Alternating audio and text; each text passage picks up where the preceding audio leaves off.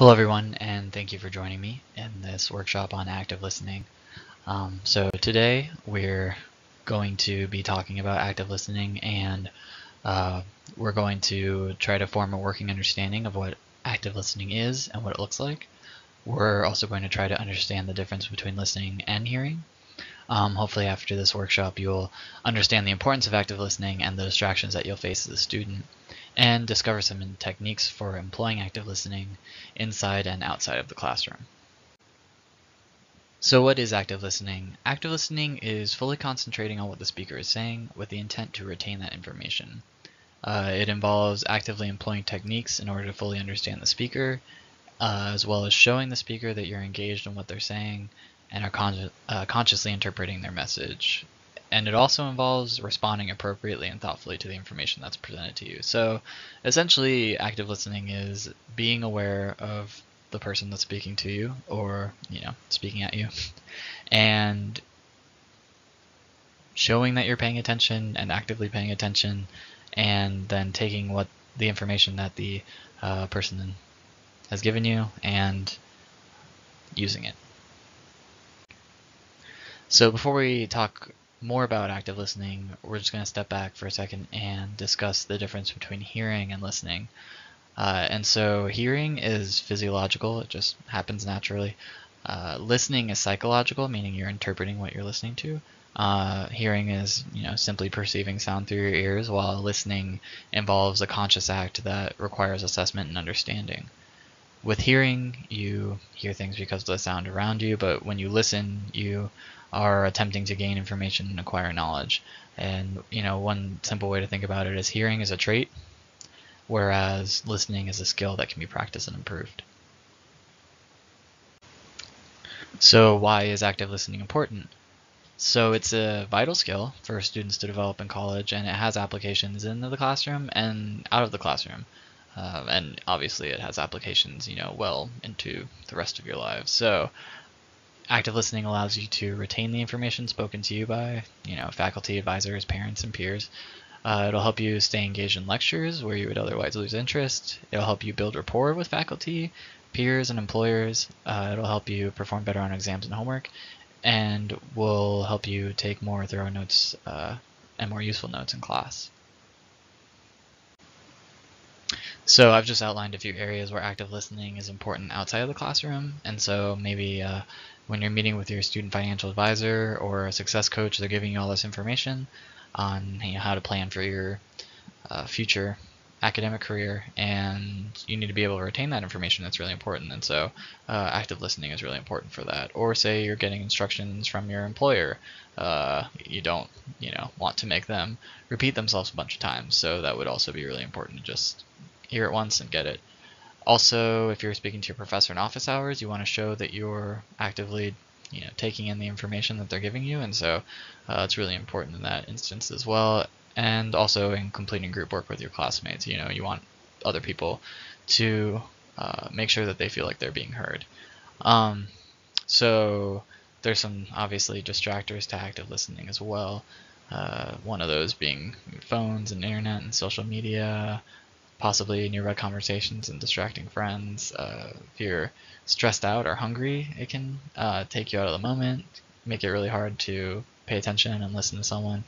And also, you can distract yourself by sort of getting lost on a daydream or a tangent or something. So these are all things to watch out for when you're trying to actively listen to somebody or something. And, uh, you know, part of active listening is consciously avoiding these distractors. So this first set of techniques is going to be for active listening and conversations. And so uh, generally active listening is mostly taught um, for you know employers uh, or speaking to your employers and it's about uh, engaging in conversation. And so generally the techniques for active listening revolve around conversations, but they can be employed in the classroom in regards to uh, your professor. But these ones are specifically for conversations. So the first one is going to be restating and summarizing. And so when you're having a conversation with someone, um, especially if you're receiving instructions, one of the really helpful techniques is to restate or summarize what the other has said. So when you're summarizing someone else's thoughts, it's really helpful to put it in your own words to make it more memorable for you. Uh, and you can start that off by saying, so what I'm hearing you say is yada yada yada, or so my next steps are blank blank blank. This is really helpful. Say if you you know were seeing your success coach and you were trying to uh, change your major or something, you know, and obviously that would take a few steps. And so my next steps are to, you know, go talk to the academic coordinator, then go on eLion or, or whatever the case is, right? And so that would uh, help you. And if they heard something wrong, then they could correct you, uh, which is really important. um, or if you had it right, then that would help cement it in your mind. Um, another helpful technique is giving feedback and clarifying. And so when you give feedback, you're letting the speaker know your thoughts on the information that they've presented. And so instead of just saying whatever you're thinking, giving feedback includes taking their points of view into consideration, responding thoughtfully. So this is really important, say if you're meeting with your faculty uh, member in office hours, you want to let them know that you've digested what they've said and thought about it and have uh, given a clear response. And so this helps the speaker know that you're listening. Uh, it, it will help build rapport. You know, it'll make it seem or well, it will be that you are actually paying attention to them, so that's good. Uh, and that's you know a lot of the times a pretty important part of uh, building relationships with your faculty members. Clarifying is when you ask the speaker if you understand their thoughts or instructions correctly. So um, when you give your thoughts or are clarifying areas that you're unsure of, it lets the speaker know that you're invested in what they're saying, and that helps build trust and appreciation. Now, another helpful tool in active listening is to use things called minimal encouragers or uh, validation. So minimal encouragers, and a lot of people do this without really knowing that there's a name for it, but they let the speaker know that you understand what they're saying and it encourages them to continue. And so the general ones are just saying okay or uh-huh, you know, just to let the person know that you're listening. The more specific you can be, uh, the more invested the conversation the speaker will be, and they'll believe that you're more invested as well. Um, and so those would be if they're telling a story or something, say, and then what happened? You know, then okay, or saying I understand to uh, you know what they're asking of you.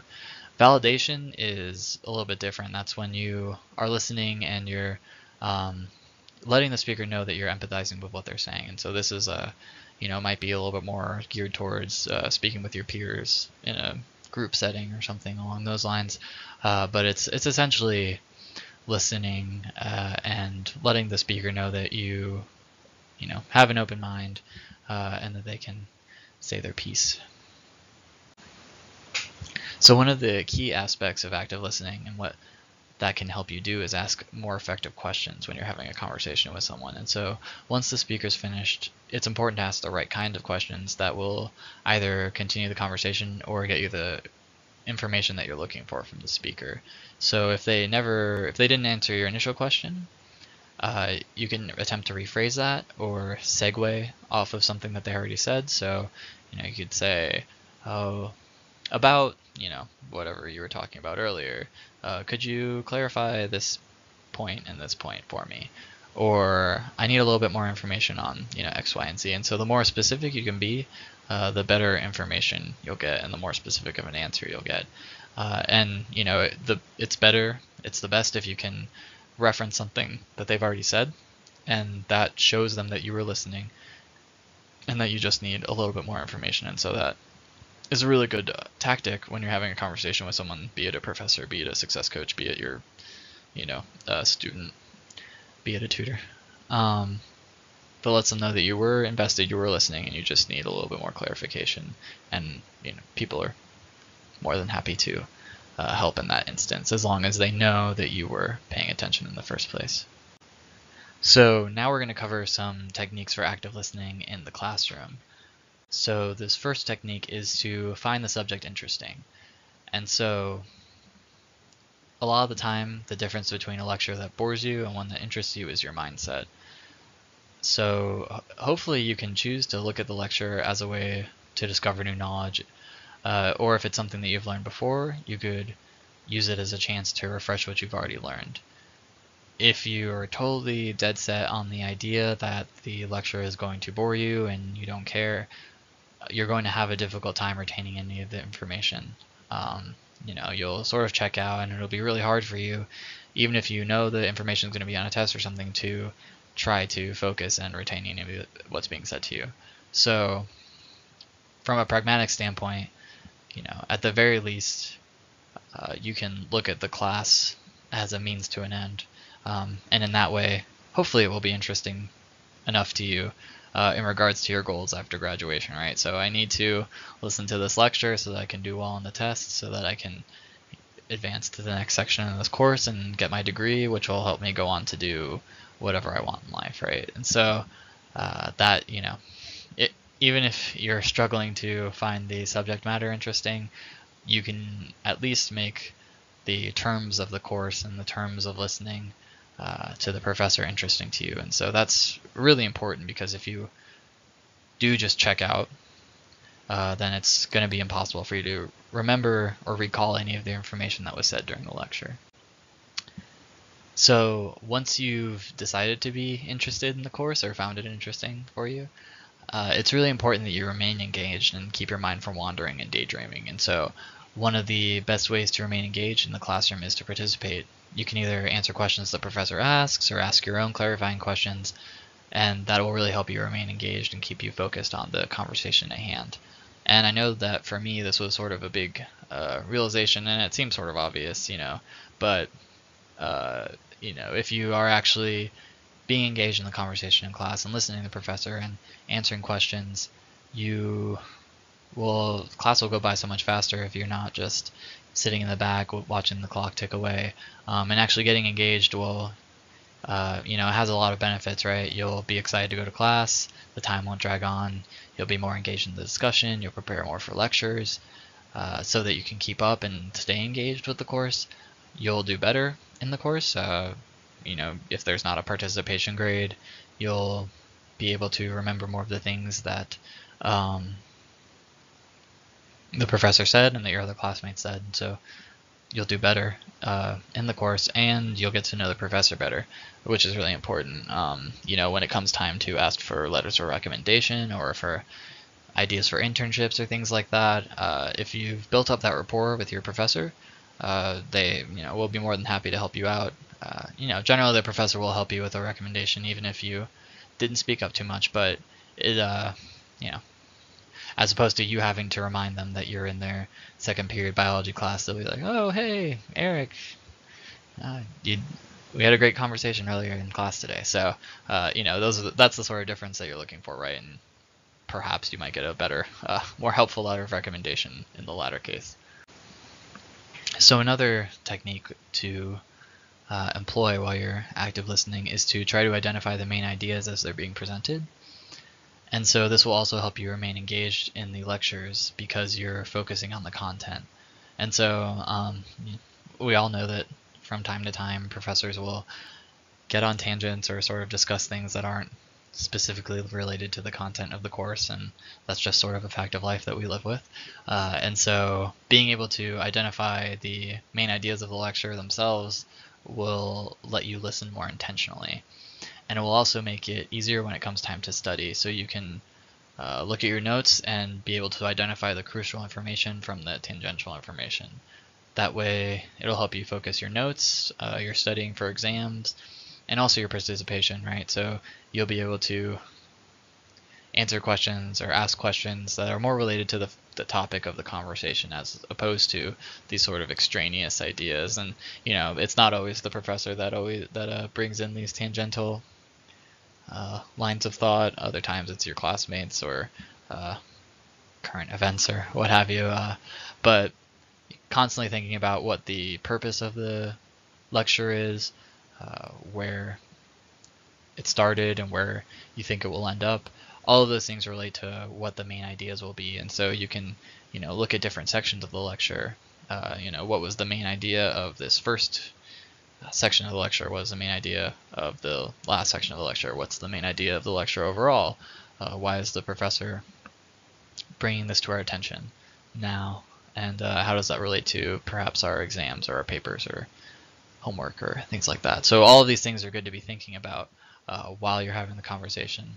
And obviously you don't want to be thinking about this so much that you don't actually hear the lecture, but uh, you know, well, it's just a good idea to uh, have in mind as you're going along. Another key aspect of active listening is taking notes during the lecture. And so what this and what's important about this is that you're taking the information that you've heard and transferring it into your notes into something that you can view later. And so obviously this is really important because if you aren't listening in the first place, your notes are not going to accurately reflect the information that your professor is providing. And so you've probably come to realize this already, but different professors have very different lecture styles. Uh, some use PowerPoints, others write down every single thing on the board that they say, others just write a few key words or phrases, um, and only others will just have a good discussion. I know when I was in undergrad, I had all types. I had ones that came with PowerPoints prepared and copious extra uh, pieces of information for us. Some professors would write a bunch of stuff up on the board and eventually get to it throughout the lecture.